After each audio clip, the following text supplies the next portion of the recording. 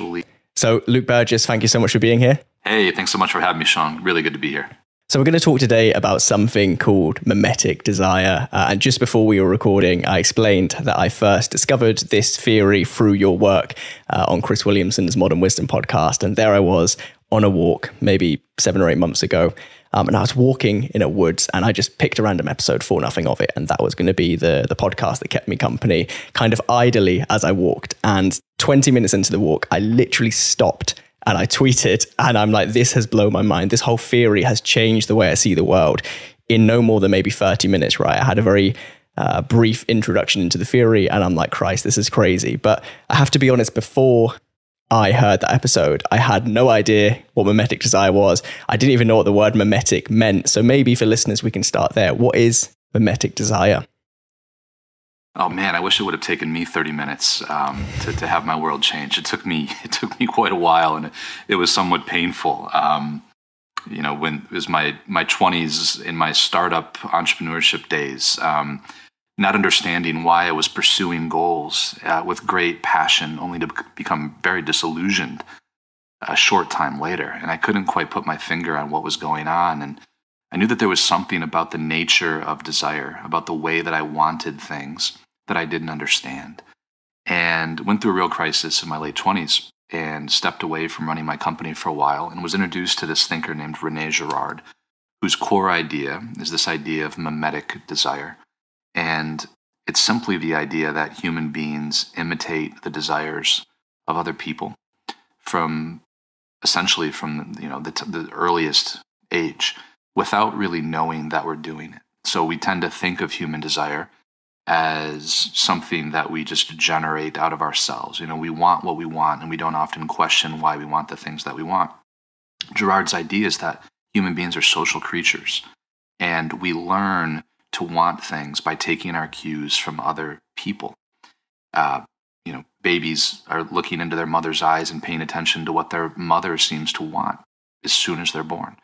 And we carry that with us into adult life, but we normally don't think of ourselves as imitating other people at the level of desire, right? We, we know that we imitate language and fashion sometimes, if we're honest, and certain trends, but we don't often think of our imitation being at the level of desire. And that was Girard's fundamental insight. So the word mimetic is a word that means imitative. It comes from the Greek word that means to imitate. So mimetic desire is imitative desire. And the reason he coined the phrase mimetic desire and didn't just call it imitative desire is because mimetic carries with it a slightly negative connotation in that it's a hidden form of desire. It's the kind of desire that we don't really like to admit. We kind of hide it because as we become adults, we like to think of ourselves as very independent Nobody needs to show me what to want, right? Um, what I want is completely unique. But Girard's point is that we we are social and our desires are in fact shaped by people who model desires to us. And so this is interesting, right? Because Rene Girard is somebody who I'm now aware of through your work and following you, and you share lots of examples of mimetic desire out in the wild. Uh, and I've kind of picked up through osmosis of your tweets that Rene Girard has become somewhat of a a recent hero in the tech bro community, right? Everybody seems to be talking about him. Everybody seems to be latching on to his work as if it's the most recent discovery that we have ever come across. But his work has been around for decades, right? So, how did he first come across this theory, and why do you think it's so relevant and so prevalent right now? That's the irony is that Girard himself has become a bit mimetic. His ideas have become mimetic. Um, the desire to know Girard um, is spread through mimetic desire, right? So desire is sort of spread by contagion. Um, I think he would laugh if he was still around. He died in 2015. So he, um, he, he died shortly before his, his ideas became as popular as they are right now. Um, so Girard's was a it was a Frenchman who left France shortly after World War II and came to the States and bounced around to different universities and is well known for spending the last part of his career at Stanford, where he had some very famous students, uh, like the co-founder of PayPal, Peter Thiel, was one of his students, and he, he was sort of an interdisciplinary mind, right? We, we, many sort of academics these days are very siloed. They teach one thing, they do it really well. Girard was getting his hands into everything. So he was studying history, literature, um, you know, he was looking at archaeology, um, and he sort of began to see these patterns emerging in the way that people wanted things. Um, specifically in in the literature that he was reading, he made this recognition that in many of the great works of literature, uh, the, at least the Western classics, characters in these books never want anything spontaneously. They if you pay really close attention, you will always find another character in the story who is modeling a desire for the person. So, classic example of this would be my favorite work of fiction of all time, Don Quixote, um, by Cervantes.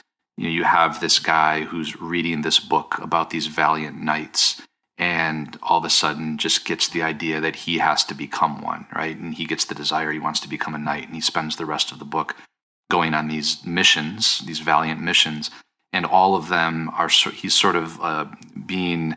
Uh, it's almost like there's some puppeteer in the story that's that like they're constantly making him chase these different things, right? And he doesn't realize it. Girard saw that this happens in, in all great literature.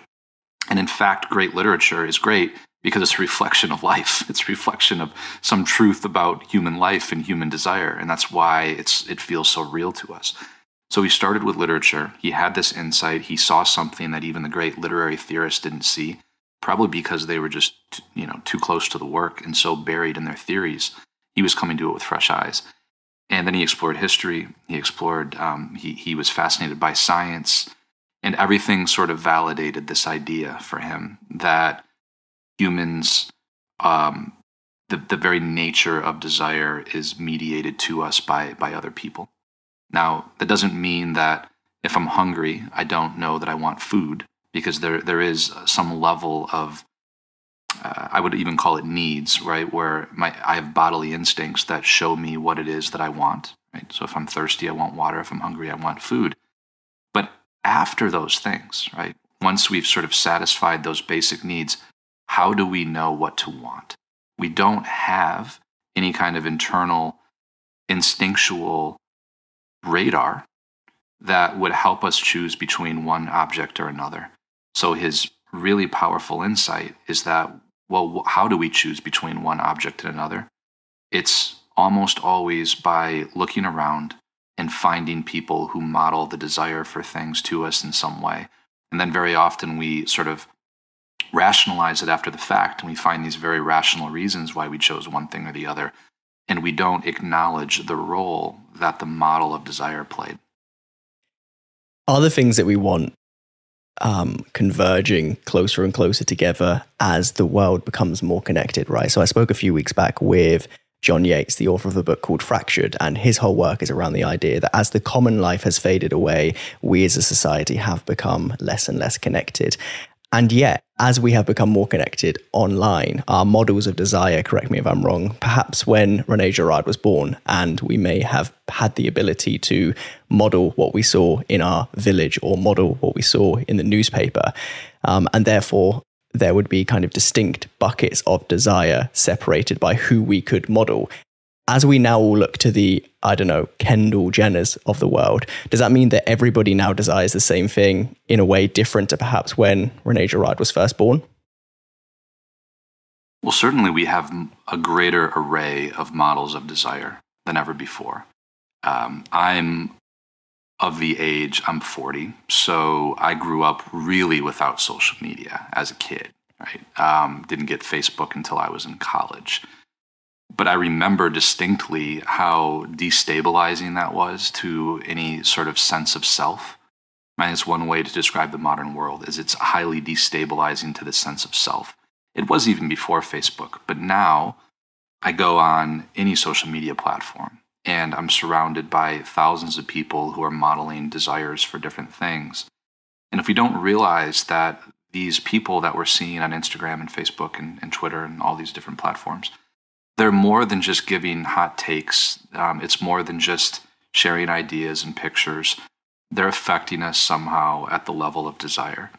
So, in a sense, I don't know if it's necessarily making us want the same things and making our desires converge on the same things. I think it's making um, our desires like highly um, schizophrenic and and and volatile, and it's sort of it's why subcultures form, right? And there's like millions, literally millions of subcultures online that you can join, and well, the easiest definition of some of those are just like people who have the same models and sort of some of the same desires.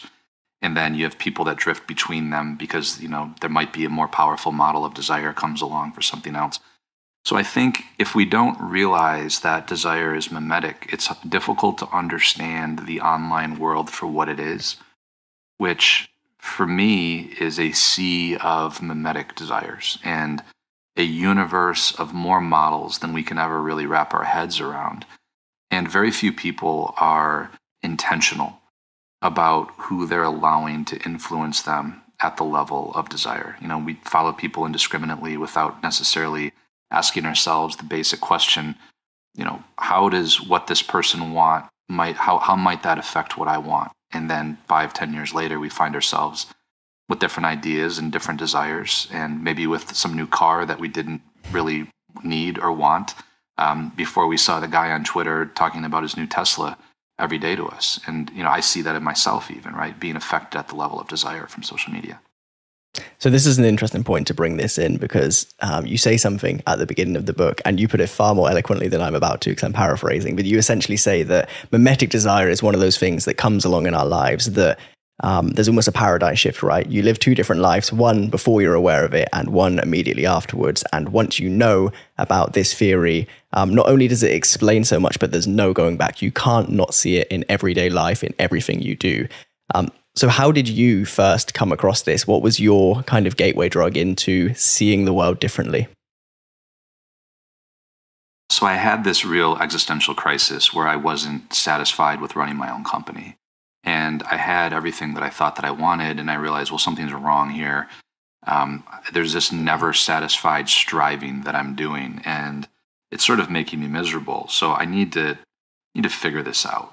Um, and I stepped away, uh, dove in. I just took like a mini sabbatical. I traveled. I read a lot.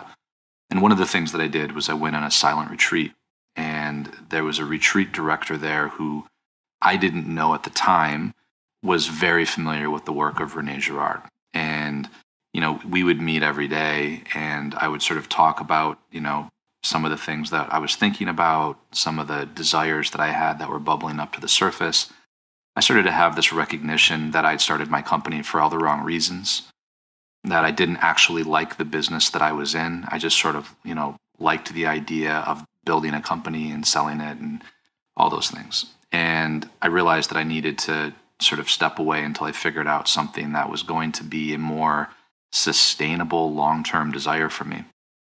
And without, without using the words mimetic desire or models of desire, he just sort of very gently uh, encouraged me to explore the influences in my life going all the way back to the very beginning uh, from friends, teachers, uh, news, everything. And I sort of took this inventory, did this history, and came to realize how I had been affected. And as we were sort of leaving, he um, he, give, he gave me some reading materials and some homework, and uh, a couple of those books were books by Rene Girard. So I went home, uh, I read them, and I thought to myself, "Wow, like." I, I, I had mixed feelings, right? It didn't it didn't all sort of hit me right away. I was a little skeptical. I was like, could it really be that you know, imitation plays this big of a role in my life. There was something about that that I didn't really like, you know. And little by little, I started seeing how mimetic the world around me was. And I sort of call that my oh shit moment where I could sort of see, you know, the way that people would just like latch on to trends and like, you know, crypto today would be like a, a good example, right? Um, and how quickly things would be adopted only to be sort of discarded a short time later. And I was like, wow, yeah, maybe there's something to this. And then I had what I call my holy shit moment, which was where I started to sort of really begin to see it in myself and see. I don't know. There was like um, I I learned to have like a uh, to add sort of a, a beat to my decision makings, and it was like the beat between stimulus and response, where I could actually step back and ask myself honestly, what was attracting me to a certain thing. Could be like buying something, it could be taking a vacation in this destination. And when I did that, honestly, I began to realize just how how mimetic I, I am, right? And you know, in some sense, at some level, we all are. There's a spectrum. I'm more mimetic in some ways and less mimetic in other ways. But that realization was eye opening and, you know, was for me something that I could never unsee after it happened. And so when you got to that holy shit moment, I definitely haven't gone as deep down this rabbit hole as you have. How does it feel when you reach that point where you're kind of looking over the cliff edge and you realize that so much of what you thought was you and your personality and your decisions is exposed to have been not that? Had, is, do you almost have a, a crisis of identity? And how do you rebuild from that when you've had such a, a shift in your mindset? There is, um, I think, looking over the edge and um, and a and a destabilizing feeling, and sort of questioning, um, you know, the the notion of how free we are, right? And I think freedom is a big idea here in Girard's theory. But the point is not that mimetic desire is is bad, or not that um, the, us being social creatures is a bad thing. It's a beautiful thing you know we're able to enter into these intimate relationships with other people um, we're able to affect one another. We are social creatures and the, I, I began to see the positive side of this as well right? So you know if this is true and if i accept this as true it means that other people are really important. Um, really important. My friends are really important. My, the influences on me are really important um, growing up, I grew up as an only child, right? So I think I probably had even more of a sense of autonomy and independence um, than most people, right? That that grew up with siblings, and I think sometimes you grow up with siblings, you you you're a little just more aware, right, of the way they, that you can be affected by this, like what my big brother wants or something, or he went to school or what he does. Uh, I didn't really have that. Maybe that's why it took me longer. Um, but there was it's there's a humility I think that comes with that and a level of responsibility to choose my models of desire rather than just accept the ones that are, that the world gives to me right? I, I can be intentional and i do i am free to choose those. And so the, regaining a sense of intentionality and responsibility is was really important um, and actually brought a tremendous sense of peace right? Like the acceptance actually brought a tremendous sense of peace and, and responsibility. And also realizing that well not only you know do i am i affected by other people but i'm probably a model for somebody else. And could be my students it could be some of my friends. So i just started to i began to live my life with a heightened degree of awareness and thinking of things on the level of desire. And i had never done that before. You know i'd, I'd sort of thought about businesses as making things and services and selling them to people.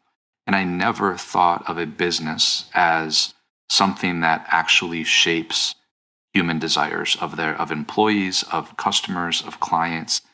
And that recognition was pretty profound for me. I mean, it changed the way that I thought of what being an entrepreneur is. And it, it took on like a lot more gravity for me. It's like, well, I'm not just I'm not just selling things here. I'm actually like shaping I'm helping to shape what humanity wants. So I, I've, I found it ultimately a very liberating thing to discover. And so, if we take out perhaps the more obvious examples like Apple, um, as you look around you today, what is a business that stands out to you that is plain as day selling desire in your eyes, but we all think they're selling some utility or some useful thing? Hmm. Great question. Um, I think that you know, this is a fairly obvious one, but I think that Facebook and all social media companies are fueled by mimetic desire. Um, and it's in their best interest to you know to to have that mimetic desire um, accelerate. So you know it's not just a platform for exchanging information or ideas. Um, it's a platform for people to you know just discover new desires and, and new models, and it's why um, you know it's it's sort of ground zero of desire in our culture, uh, and it's why companies are moving onto these platforms to to advertise. Um, it's I think the the driving force behind you know sort of the metaverse. Um, it's it's they're really selling um, not any one particular desire, but desire as such, if that makes sense, right? It's fueled by just this desire as such. Um, so that's one example. But I think if you look behind many of the iconic brands, right? Like, I mean, I, I lived in Vegas for three years. So I think much of Vegas even runs, uh, is selling a desire, right? Is selling a desire for a certain kind of lifestyle for a, a few days. Um, and it's not just, uh, it's not just the promise of making money, uh, winning at a, at a poker table or something like that. It's, it's a desire. And if you look at the way that those those trips are even advertised, I mean, they're they're showing people getting married. They're showing like uh, all kinds of things that have uh, really nothing to do with uh, with gambling itself, for instance. Do you think that an understanding of mimetic desire is baked so deeply into uh, the algorithms of apps like Facebook that you and I will perhaps never truly understand the extent of it? Because I draw this this kind of line between mimetic desire and these posts that we see people share every now and then, where they're like, "Oh my god, I needed." Uh, a new dog toy and Facebook showed me the ad before I even knew. Is that actually just a, a disconnect between there has been a model of desire planted at some point by an algorithm to show you something, and then they will scoop up on the back end and say, "Well, you can buy it here," um, or am I am I connecting dots that perhaps don't exist? I think that's absolutely what's happening. You know that that's ex- a great example of us like rationalizing after the fact a desire that was probably planted much earlier and much more subtly over months, maybe even years, and you know, we look at the app and we're like, oh my gosh, I was just talking about this thing and now I'm getting served an ad for it and I bought this. Um, no, it, it's it's a bit more complicated and a bit more subtle than that um, for us to be affected at the level of desire. And I, I think I think there's a cumulative effect, right? So I look at the beginning of the pandemic here in the U.S. Uh, many many people decided it was a good time to get dogs um, you know, it's like, okay, if you see one friend or hear about one friend who gets a dog and, you know, they're sending you, texting you pictures of this cute dog every, every day, um, that may not like cause you to get a dog. But once it happens two, three, four, five times, it becomes this thing like you're like, like a FOMO thing, like I'm being left out. And so, you know, I think like the idea that we're just served one ad and, and that influences us is a, is a little oversimplistic. So, on that topic, then, where do we think desires come from? Because as much as I look out into the world, I can't actually find a rhyme or reason of what uh, impacts me when it comes to desires, where desires of friends of mine come from. Because, you know, for example, everybody who I know who likes football wants to be Cristiano Ronaldo, but they also want to dress like their best friend who got that desire from somewhere. Does that make sense? There's this big kind of waterfall of desire that begins somewhere, and I can't seem to work out where. Have we worked out the answer of what is kind of ground zero of desire? So I'll give you two two cuts on this. Um, the one one is the theological cut, and that's that you know God is the originator of desire. Okay, um, and that all desire leads back to God. The evolutionary cut on this is that human beings evolved to desire um, abstract things, right? So, to give you an example, um, if you know resources are scarce, and you know if we all were sort of fighting over the scarce, the same scarce resources, we all desired the same you know piece of land or the same food, and there's not enough to go around, it just inevitably leads to conflict that results in violence. Okay. So at some point, it seems like in the in the process of um, evolutionary development, hominization, becoming humans, becoming Homo sapiens, could be you know one one idea that's been proposed is that we actually evolved to desire differently than than than other animals right? Than the great primates for instance where we began we, we began to develop like symbolic desires and abstract desires right? I mean think about the desire for money what is that? It's a very abstract thing right? It's very symbolic. The desire for status the desire for prestige. In a sense, there's an infinite array of abstract desires where there's a finite amount of physical resources.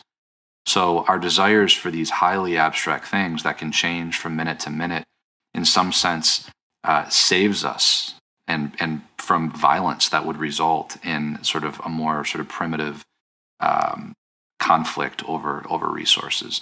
So that's that's definitely one angle on it. Would be it, it, it actually preserves us and and allow this seeking that is built into humans like our our wanting is um, there's something pleasurable about seeking and wanting itself like if if we don't want anything if we don't desire anything um, that's like a definition of depression right like people who are depressed are like like what do you want to do they're like nothing i just want to sit here on the couch i want to sleep all day i don't want anything so, in some sense, I mean, there's some evolutionary basis. It's pleasurable to desire things, to constantly yearn for and seek things. And maybe that's what keeps us going. And the fact that we can, we, we, we seem to be like inventing more and more things to want. um, and there's something about that that's profoundly human. Um, obviously, we have to be careful, but there is a sense, there is a sense in which this is the primary differentiator between us and animals is the infinite number of things that we can want. Is there a case to be made that our ability to want and to copy and to find models of desire who are in some way better than us is also evolutionary advantageous because if you were to copy the uh, the alpha male of your pack who is good at mating and good at continuing their bloodline, you're likely to do more things that lead you towards their success. Is is is there a kind of a deeper evolutionary reason as to why we have all now got this wanting gene because those who were better at copying continued and those who didn't didn't so what the last thing that you said so those who are better at copying and imitating may have some advantage over those who don't is a really fascinating idea and i'm just going to think out loud here um, is you know Girard wrote a bit about evolution, um, not a ton, but a bit. So, one way to think about the importance of imitation and mimetic desire for survival is that a group or a tribe um, is bound together by some shared desire, right? Like wanting something at some level that's the same. Could just be like stability, protection. And you can't really be a part of the tribe without being mimetic in that way, right? It's it, it's part of the social cohesion in in a very positive way.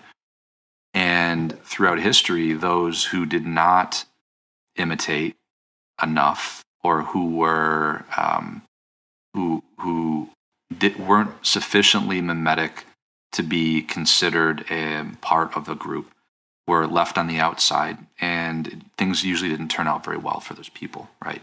Um, if you lose your tribe, you die, right? When you're alone, um, you don't have any protection. And oftentimes, you know, a tribe or a group can turn against you. It happens with animals, it happens in nature. Uh, and it, frankly, it happens with humans too, right? There's something kind of dangerous about being alone.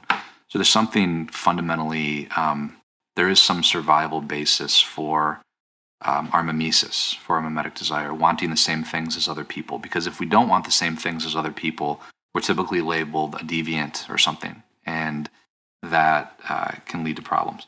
When it comes to imitating, um, like an alpha, an alpha or something like that, that's a tricky one because not everybody can be the alpha, almost like by definition, right?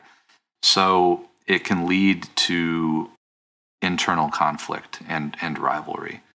So the trick is imitating the right things and imitating the, the right people and non-rivalrous imitation is really the, the key right like the kind of imitation that won't get you killed that won't get you into fights and the whole second sort of stage the second order effect of mimetic desire and girard's theory is that mimetic desire leads often leads to conflict because we learn to want what other people want which sort of leads us to view them as rivals.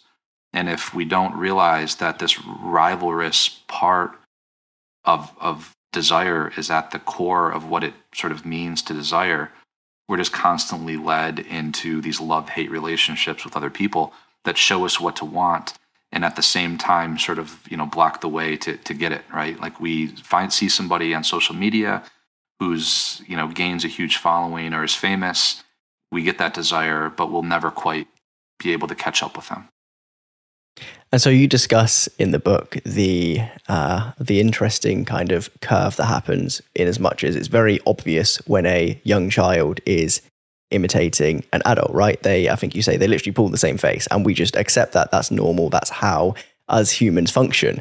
And yet, as we grow older, we kind of distance ourselves from that imitation. Um, and I was just kind of thinking as you were answering there, is the reason that we try and pretend that our decisions are our own is this deep rooted kind of avoidance of conflict that you speak of because you can't be in direct competition with somebody if you're not accepting that you are after the same thing as them or is there something else going on? Do we just want to believe that we're in control?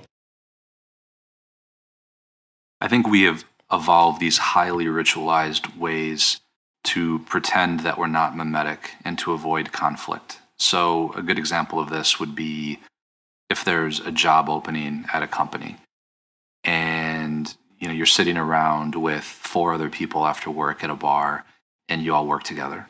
And this is a, a, this would be a promotion. And there's this like really weird sort of game that's often played where you all want it but sort of you don't want to show how much you want it to everybody else because um, if you all wanted it equally then that might fracture relationships and friendships so there's this really elaborate game that's played in terms of how much you signal, how much you want something. Um, so you have to be careful, and sort of like the person who pretends like they want it the least might actually want it the most, and vice versa. So um, it's a really weird thing, and this happens in relationships all the time too. By the way, so you know people are really coy about their desires, um, and this is kind of the the whole idea behind playing hard to get. There's a, there's a mimetic desire aspect to this um, because we tend to we're attracted to things that um, well that are that are difficult to achieve or, or, where there's obstacles in our way in some sense um, to to those kinds of models of desire. So you know a person who's playing hard to get is modeling a desire for themselves um, more than they're modeling a desire for us and that is so we're we're naturally sort of attracted to them because they're sort of modeling the unattainability of this object. So adults do this all the time and it, we often sort of hide it because we like to present ourselves to the world as knowing exactly what we want as being in control of what we want as not wanting anything too much because that's kind of a sign of weakness, right? We want to present ourselves as being self-sufficient. Oh, I have everything that I need. When in reality, we all want something. We all we all wish that we had something that we don't have if we're really honest. And you know, there's just that comes down to self-awareness. And yes, with children, children tend to be open about what they want. They'll scream it out, they'll cry, they'll tell you you know, I want this thing that Johnny has. Why don't I have the same toy that he has? They'll beg their parents for it, um, and they're just open about it. But as we as we grow into adults, we develop some kind of psychological defense mechanisms against that open display. Is it right to say then, based on your thoughts there, that on this whole spectrum of how willing each of us is to show that actually we are um, desiring things that are external to ourselves that when we go to the right the way to the end of that spectrum we see these people who they they dress in maybe thrifted clothes and they live off the land and they say oh I've, I've checked out from society i'm not involved in that game that's are they doing the same thing are they just looking at different models and actually just basing themselves on you know uh, the, the exact same thing that we're doing just in the opposite way That's a great question. Um, and I know people, I know many people that do that. And there, I know some that have done it that uh, re- have regretted it after a short period of time. Um, and they're the ones that are like have made it that post on social media 10 times a day about how great it is to live off the land and the lifestyle right so it's like maybe there's something else going on there than some kind of um, deep rooted desire to actually do that thing right and i've talked to a friend who did that. And you know he came clean and was like yeah i was really driven by some mimetic desire to, to for this kind of a lifestyle. And then i realized it's 10 times more work than i thought. And I realized that I was doing it for all kinds of these bad social reasons. I do believe, and I do know people that have adopted certain lifestyles, um, just to stay in the example like that, um, who are very happy and who I think have chosen it for like the right reasons and who seem sort of satisfied right? And have sort of like they've grounded themselves in the real. Uh, and part of the whole sort of conclusion to my work in my book is that yeah, there is there, there are very healthy desires. There are healthy, positive, mimetic desires, and there are things that I call thick desires, right? They're just deep rooted in what it means to be human, right? Things that every every human sort of wants, right? To be known, right? To be recognized, to be loved, um, those things are great desires. They're good desires. And what I call thin desires are sort of the highly mimetic ones that change, you know, sometimes on a daily basis. So there are people that uh, find themselves and find that they're able to sink down into some of those sort of thick, less mimetic desires and lead very fulfilling lives. And it's not that they don't want anything, it's that they have sort of exited the game of of wanting some of the more sort of superficial things that are not actually the things themselves. And that's one of the problems with social media is that like we have an idea of what this thing is or what this lifestyle is that may not be what it is at all. It's just an idea. It's just what's shown to us on social media. Then you get on the farm and you're like, I don't really like picking up pig shit every day. And you you know you so the you develop a, a, sense of what this desire actually is rather than just the mimetic version of it so we'll come on to this more towards the end, but just whilst we're here, I want to ask this, right? Is there a model that we can use to almost sanity check our own decision making? Because um, I imagine once we have, made, if, if all of our decisions are in some way met- mimetic in their desire, um, as soon as sunk cost fallacy sinks in, it's almost too late to turn back, right? Which is why some of those people who don't like it are still living off the land and thrifting their clothes. Um, can we check before we make a decision in a really kind of logical way whether or not we actually want this thing for the right reasons, or is it far muddier than that? There is a way to test desires. And this is really important to test them. Um, and this is what I call just basic discernment, which um, is a little bit different than decision making, right? Decision making, you know, many times you can sort of make decisions like a poker player and generally weigh odds. When it comes to desires, it's a little it's a little trickier than that. Um, because you know we, we're not presented with data where some of these desires lead. lead. But what we can do, um, you know, is adopt some very ancient uh, practices. Um, frankly, you know, they're very spiritual practices and exercises and understanding sort of like sitting with two desires. Let's say that you've got two competing desires. Um, do I accept this job um, or or the other job? And the two very different industries would result into completely different life tracks. I just um, talked to somebody this morning who uh, last year was offered a job at a DeepMind in London, and then he was offered a job teaching in the philosophy department at a small liberal arts college. Very different jobs, right? He's like, I, I, I see, I have like a desire to do both in different ways. How do I decide between these two things? So, what he did is he basically pretended that he had um, accepted the DeepMind job in London and he sat with it for a whole week and just imagined himself in that position and paid really careful attention to what it kind of did to him inside, right? Like, did it disturb him? Did it give him peace? Like, you know, he, he kept a really detailed journal Then he did the same thing with the other job the next week, and he paid careful attention to that. And it gave him insight into the nature of his desires.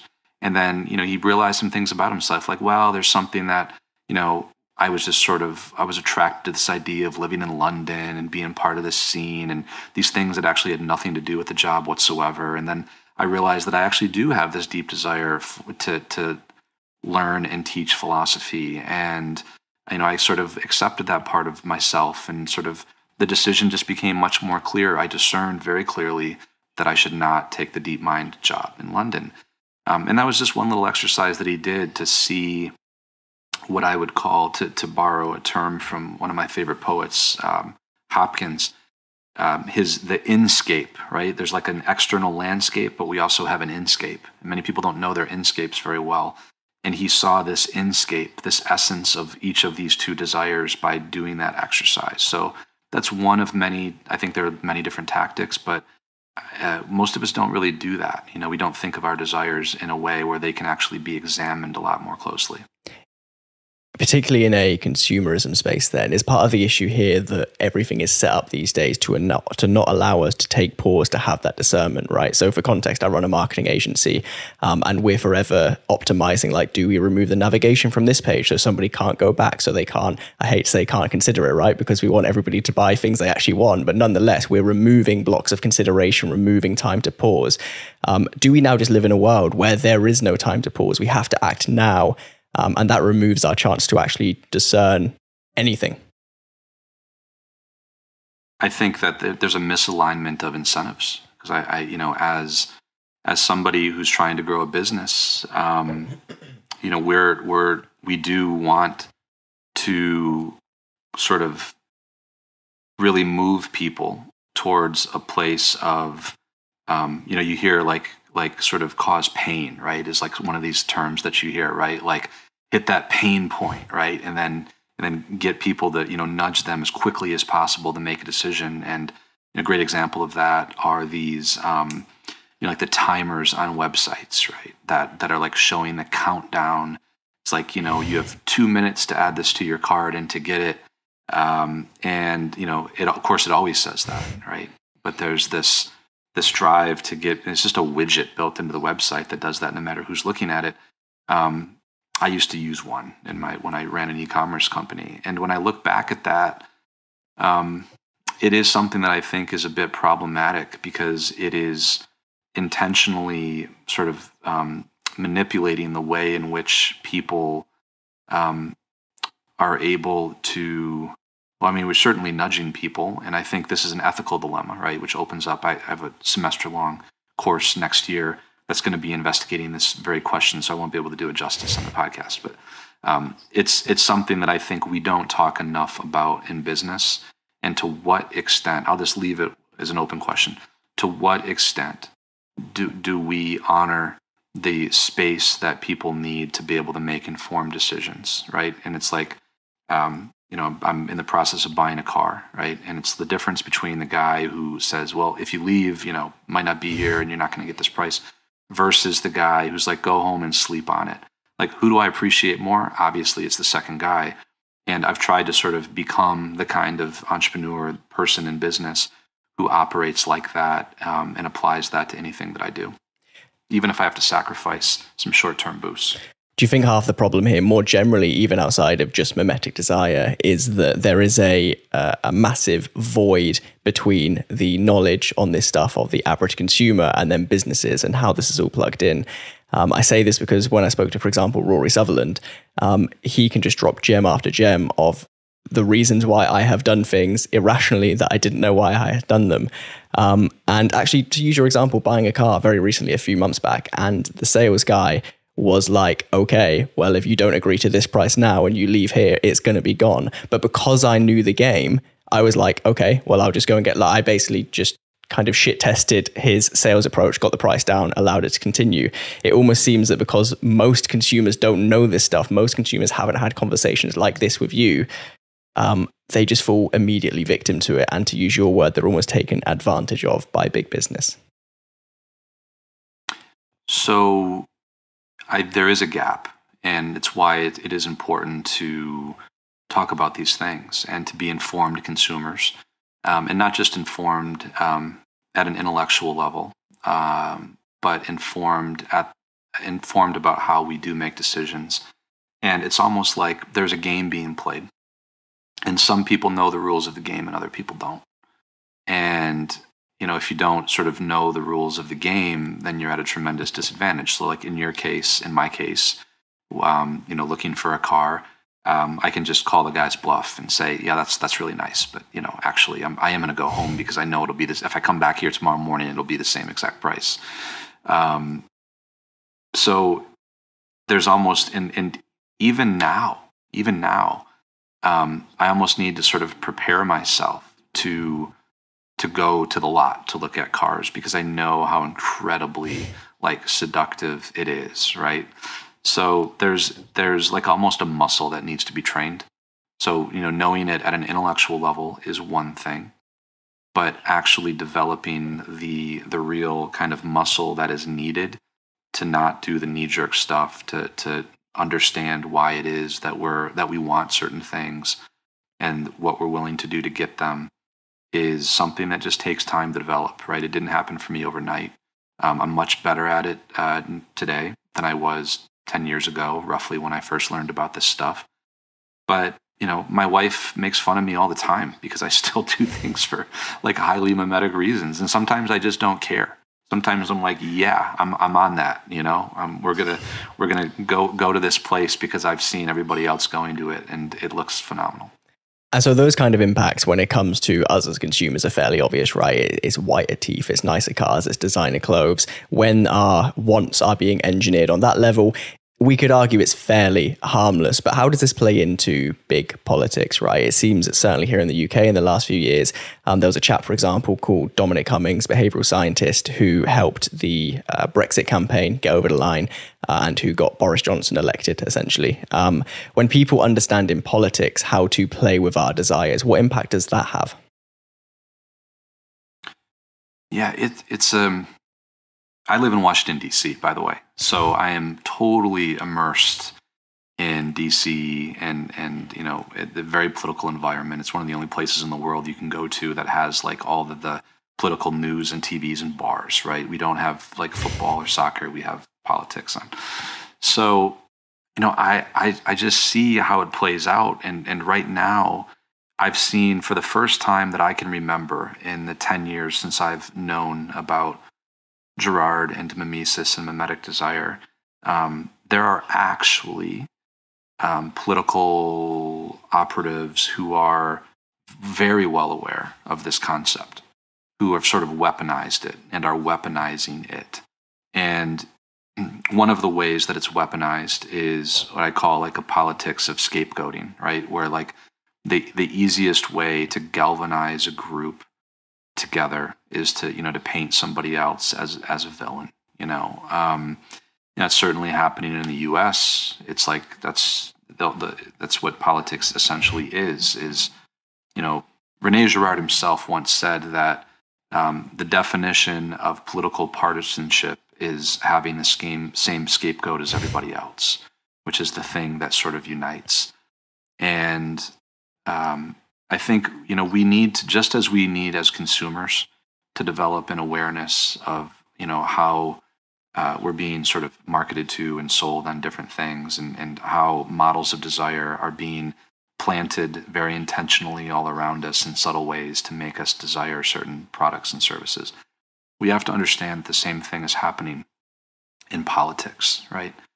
So, um, to give you a very concrete example, um, and I, am I'm, I'm not I'm going to leave out all um, if it's okay. I just I'm going to leave out parties and and issues. But I literally had a conversation in D.C. Uh, just a few months ago by somebody who said, um, you know, we want um, our party to adopt this as uh, as an issue that people care about, and we know that in order to do that, we need the right person to embody that value. And that person will be a model of desire for everybody else. And it's got to be the right person, somebody admirable, somebody who fits the right demographic. And they're going to go and they're going to talk about how much they want to see this change. And we know that if we plant that model of desire in the right place, and in fact, if we find one model of desire in all of the right cities, and we've identified these 20 cities that are very much on the fringe, it could go either way, we get the right model of desire in, in either city, that one person in each of those cities might be enough to swing this election. And this was highly sort of engineered. It was engineered. I mean, these people were like handpicked because they fit certain characteristics. They were given talking points to make, and they were paid money, by the way. So, you know, this is an example of how politics, just like some businesses, can really engineer outcomes by playing with the way that we're sort of mimetic and how we look to other people. Thinking that maybe these people are spontaneously came to desire this political change, when in fact they were sought out, they were sort of uh, brought together as part of a coordinated effort. And it's made to look like it's totally spontaneous when in fact it's very, very much engineered. Is this therefore where the the personality politics comes from? So again, for context, today, although this will be massively outdated by the time this episode goes out, um, there are three contenders remaining in the Conservative Party leadership race here in the UK because Boris is resigning, which means that um, one of these three people will be the next UK Prime Minister in a few weeks' time. And if you look at their campaigning, other than maybe we're going to cut some tax, which two of the three seem to be saying, it's purely about politics and it is about like i'm from this city and i did this as a job and here are all the things that relate me to you. Um, can we ever turn back out of this now? Or now that this has been manipulated or engineered to use your word um, is this just the way politics is?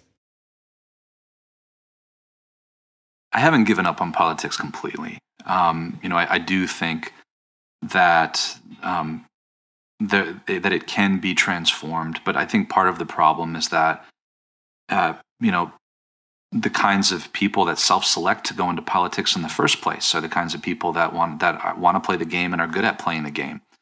So, you know, what will it take, right? I sometimes joke with some of my friends, like, you know, maybe the only way um, to have a less toxic political environment here in the U.S. would be, you know, somebody is elected president, and um, the only way that they could be elected president is to play the game really well, probably, and and to sort of you know be, engaged in this sort of mimetic scapegoating game, and then to have some kind of um, like conversion experience, right? Call it whatever kind of conversion you want to take it as, right? Where they sort of like realize this and they don't have anything left to prove. They don't have any other office to, and they just like sort of opt out of it completely and, and actually sort of develop. So, because I don't know how they would get there in the first place, right? If, if they started out that way. Um, there's I, I, I think that there's hope for it. Um, you know, I think that yes, the reason that there's the emphasis on the sort of on the person and on making them feel kindred whether they are or not right? I mean like trump like somehow like convinced you know many americans that he was like really like like them in some way right? That is part of the mimetic desire game um, and you know that's that's why we do it. There's something important, I think, to caring about who the person is, right? I mean, what's the alternative? Like we only talk about ideas, and it's like, well, you know, who cares who the person is? Um, but like, whatever happened to actually caring about um, like in, integrity? It's almost as if, and this is, I think, the biggest problem. It's almost as if like we've um, thrown in the towel and accepted the fact that the game is being played and not held our politicians to a higher standard. And so, in all of this, in bringing together the conversation so far and the importance of having an understanding of mimetic desire, um, they say that acceptance is the first step in recovery, right? And whilst I'm not suggesting that any of us can opt out of our desires being mimetic, um, am I correct in saying that being merely aware of this concept on a very foundational level is enough to help us make better decisions? It is the most important and the first step is becoming aware. Um, and you know, it's a constant vigilance, though. It's it's you know being aware um, for a short period of time is one thing, but um, sort of allowing it to sort of seep down into into our bones and just become like more of a habit is another thing. Um, you know, I've learned about many things that, you know, are with me for a couple of weeks and then I totally forget about them. And it's really easy to do. So the awareness is important, but almost developing practices to remain aware is equally important. And then where the rubber really hits the road is well, how does this affect my actual decision making and the way that I live my life? Um, am I am I merely sort of like talking about this, or you know, are there like real concrete behaviors that are changing? And you know, that's I, I I try to make this as practical as possible. So like as I as I teach a, a whole semester on this, um, part of the process is like identifying what are what are our mimetic thin desires and naming them and naming the models that are responsible for them, whether they come from social media, whether they come from inside of our family or our friends, whatever. Um, putting names to things is incredibly important, and and then getting to getting to understand like what what is what are the kinds of desires that seem to to have some continuity to them? That seem to there seems to be some more substance there. What are those? Like can we put a name to those? What what is it and doing that process um, and each everybody has their own way. Some people like to you know keep a daily journal.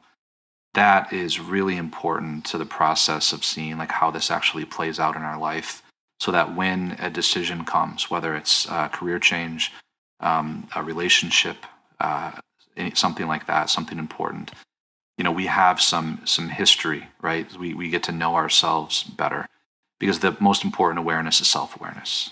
Um, you know, which is which is always the first step in any kind of um, yeah, like recovery is not is not the best word because there's nothing bad about being you know our desires and, and our mimetic desire, but at least that's the first step in being able to more intentionally choose our models. Amazing. I think that's a really good place to finish. Um, Luke Burgis, thanks so much. I'm going to make sure that wanting the power of mimetic desire in everyday life is linked in the show notes below. If people want to go elsewhere in the meantime, whilst they're waiting for their book to arrive, where can they head to find your stuff?